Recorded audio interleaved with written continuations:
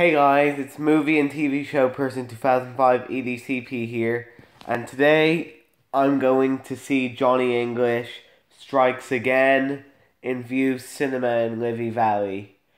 I'm going to be seeing it with my brother, no, no, no, my mom and my sister. You all thought it was going to be Smallfoot, but no, it isn't.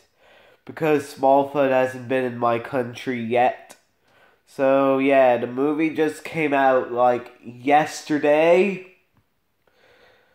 And I didn't want to see yesterday because you know I have to go to school and yes I am in school now. It's because you probably are wondering why I am am doing any videos because of secondary school. And I'm not telling you where I'm going to secondary school. So don't ask. Yeah. Anyways, it's the third Johnny English movie. And it could be the last one. I don't know what it's about, but you guys know when I'm done seeing the movie.